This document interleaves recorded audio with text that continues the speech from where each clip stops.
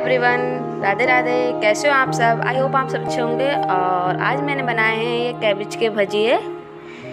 इनको आप मॉर्निंग में बच्चों के टिफ़िन में भी रख सकते हैं। शाम के स्नैक्स चाय के साथ भी आप इनको ले सकते हैं। और देख तो बिना स्किप किए ये पूरी वीडियो देखें। तो गाइज़ स्टार्ट करते हैं रेसिपी तो उसके लिए हमें चाहिए कि एक कैबिज इस तरह की। अब हमें इसकी कटिंग कर लेनी है और इसके जो ऊपर के पत्ते होते हैं ख़राब, उनको निकाल लेना है हमें और अच्छे से धो लेना है इसको ऊपर से। और इसकी हमें लंबी लंबी कटिंग कर लेनी है।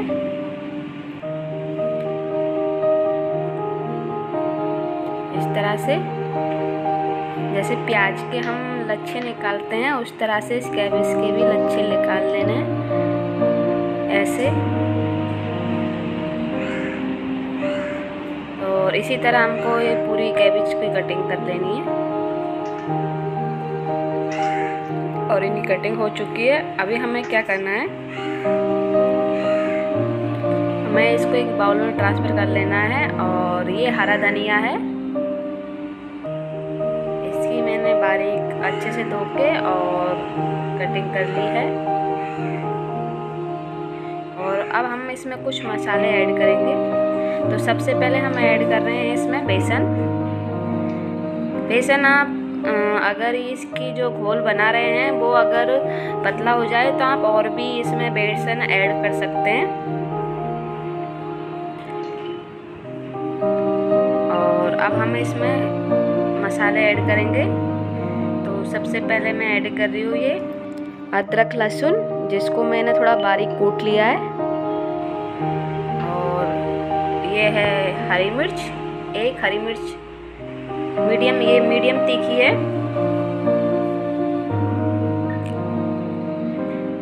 और अब हम मैं इसमें ऐड कर रही हूँ थोड़ी सौंप।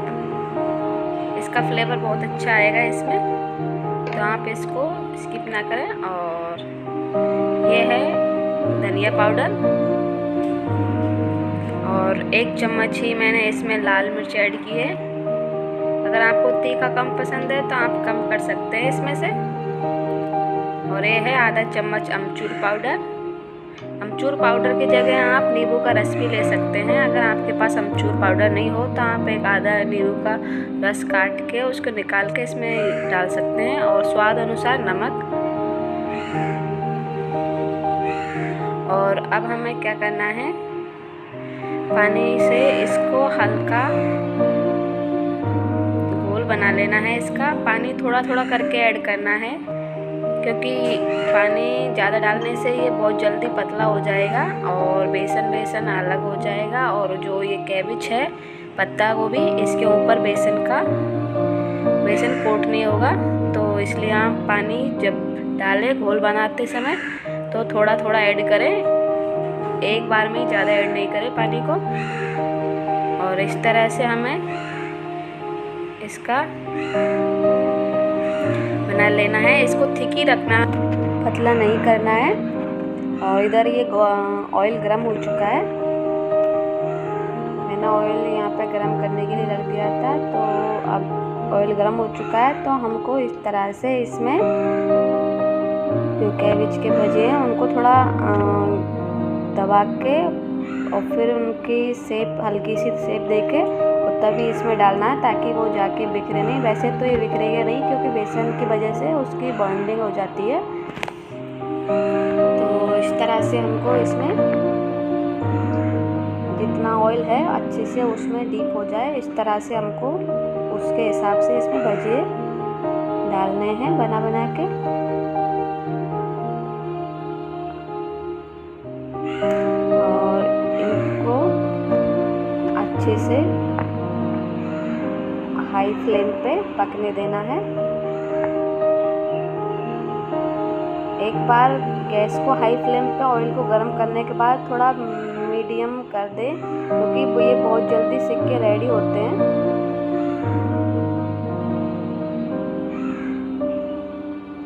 और इस तरह से सारी कढ़ाई में हमें डाल देना है और अभी हमें इनको सिकने देना है। धीरे धीरे ये सिक रहे हैं नीचे से और बहुत ही क्रिस्पी वो बनेंगे ये। और गाइज़ अगर आपको साथ में प्याज भी डालना है तो आप प्याज भी इसमें डाल सकते हैं। मैं सिर्फ़ कैबेज के भजिए बना के बता रही हूँ आपको। जो लोग लहसुन प्याज नहीं खाते हैं, वो इसमें लहसुन प्याज नहीं ऐड करें। और ये देखिए गाइज़ इस तरह से हमको पलट देना है। और ये देखिए, एक साइड से कितने अच्छे से सिक के रेडी हुए हैं गोल्डन ब्राउन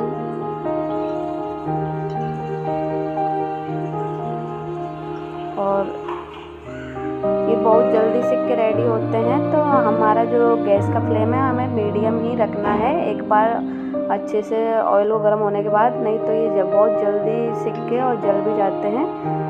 तो इसीलिए मीडियम फ्लेम पे ये क्रिस्पी भी बन के रेडी होंगे। ये देखिए गाइस ये बन के हो चुके हैं रेडी ये देखिए, कितने अच्छे से क्रिस्पी बन के ये रेडी हुए हैं. कैबिज के भजिए. और अब हमें इनको बाहर निकाल लेना है.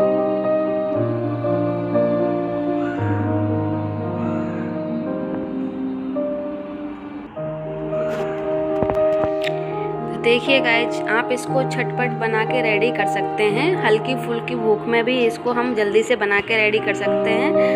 और अगर बच्चे डिमांड कर रहे हैं, तब भी हम इसे जल्दी से बना के रेडी कर सकते हैं। तो ये देखिए गाइज़ कैबिज के भजिए।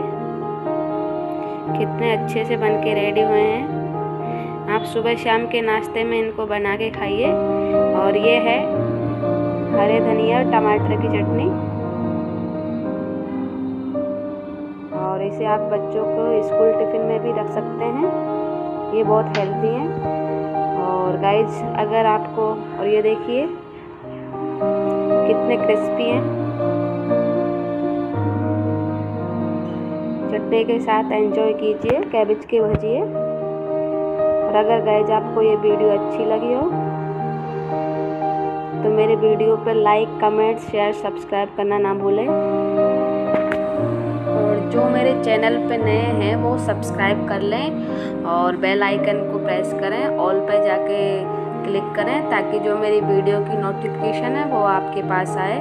और मिलते हैं गाइज़ अगली वीडियो में, अगली रेसिपी के साथ। तब तक के लिए bye bye take care Radhe Radhe.